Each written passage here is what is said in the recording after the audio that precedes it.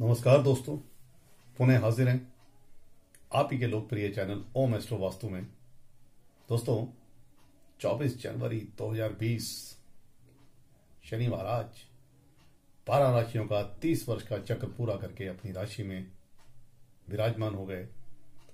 उसके क्या फल होंगे सभी बारह राशियों पर, इसी कड़ी में मैं अपने मिथुन राशि के जो दोस्त हैं, मिथुन लगन के जो दोस्त हैं, उनको इस बारे में विवरण देने की कोशिश कर रहा हूँ कि 2020 में शनि की राशि परिवर्तन से उनके जीवन में क्या उथल पुथल या घटनाएँ घटने वाली हैं, इस पर यह वीडियो ज़रूर देखिए।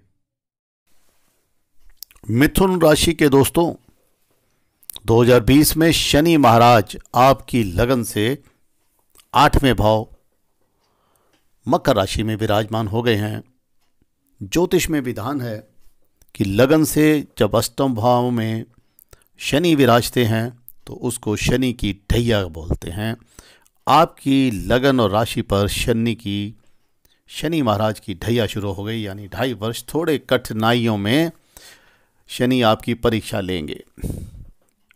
इस अवधि में आपके कुछ काम में रुकावट आएगी। आप अपनी वाणी पर कंट्रोल नहीं कर पाएँगे। कामकाज में मेहनत का उचित फल नहीं मिल पाएगा। इसमें एक ही विधान बोलेंगे कि आप सोच समझकर और संयम से व्यवहार करें, अन्यथा क्रोध बढ़ने से आपको और भी बहुत सारे नुकसान हो जाएँगे।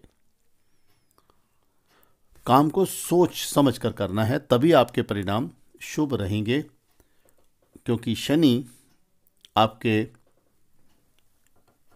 जो दृष्टि दे रहा है वो शनि की दृष्टि आ रही है आपके भाग्य भाव पर और आपके कर्म भाव पर, तीसरी दृष्टि। सातवीं दृष्टि आ रही है आपकी पिता के धन के भाव पर और दसवीं दृष्टि आ रही है आपकी पंचम भाव पर, जिसको हम शिक्षा का भाव बोलते हैं। अंततः आपको जो नौकरी में आलस्य के कारण अपने आप को दूर रखें, अन्यथा नौकरी में विवाद भी आ सकते हैं। शनि की तीसरी दृष्टि पड़ रही है आपके कर्म भाव पर। दुर्घटना की भी संभावना दिखती है, क्योंकि अष्टम में शनि बैठे हैं। अष्टम और नवम दोनों में शनि बैठ गए। नवम में भी कुंभ राशि आ गई तो ढैया के जो रुकावटें और मुसीबतों वाले जो फल हैं, उनसे आप बच के रहें। बड़ों की सलाह ज़रूर लें। अन्यथा बहुत परेशानी हो सकती है। आप नौकरी करते हैं, बिज़नेस करते हैं, कोई भी आगे बढ़ने के लिए सोच विचार कर काम करें, अन्यथा बहुत दिक्कत आ सकती है, क्योंकि शनि की तिरछी निगाह मिथुन राशि के ऊपर पड़ रही है, परेशानियाँ दिखा रही है।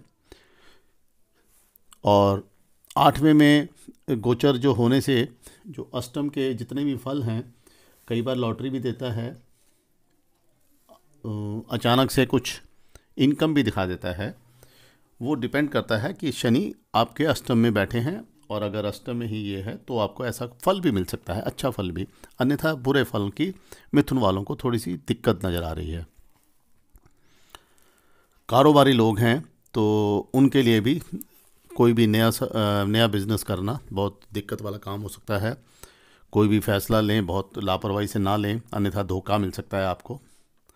निजी ज़िंदगी की बात करें तो निजी ज़िंदगी भी प्रभावित होगी, क्योंकि शनि की जो सातवीं दृष्टि है, वो वाणी पर जा रही है और वाणी से धन का, संपत्ति का, परिवार का भी संबंध होता है। शादीशुदा लोग, प्रेमी और प्रेमिका हैं किसी की तो उनको भी अपने वाणी पर काफ़ी कंट्रोल रखना है, अन्यथा रिश्तों में दरार आ जाएगी और रिश्ते ख़राब हो जाएँगे। बने बनाए रिश्ते बिगड़ सकते हैं और आप दोष देंगे शनि को। शनि का सातवीं दृष्टि आपकी द्वितीय भाव पर है। द्वितीय भाव को हम वाणी का बोलते हैं। दोस्तों मिथुन वालों को थोड़ा शनि की ढाई वर्ष के लिए सतर्कता दिखानी है और इस पीरियड में मैं कुछ उपाय बता रहा हूँ कि कोई भी पीपल का वृक्ष आप देखें तो उस पीपल के वृक्ष के नीचे तेल का दीपक जलाएँ, सरसों का तेल या तिल का तेल जो भी हो। और जल दें, उसको अर्पित करें और कोशिश करें कि कहीं एक दो पीपल के पेड़ लगा दें। तो इससे भी आपकी जो दशा है, उसमें सुधार हो जाएगा और अच्छे निर्णय ले पाएँगे। परेशानी से बच जाएँगे। दोस्तों, आपको हमारा चैनल पसंद आता है, देखते हैं, उसका धन्यवाद। जिन मित्रों, दोस्तों ने अभी तक चैनल को सब्सक्राइब नहीं किया, उनसे निवेदन, प्लीज़ सब्सक्राइब करें।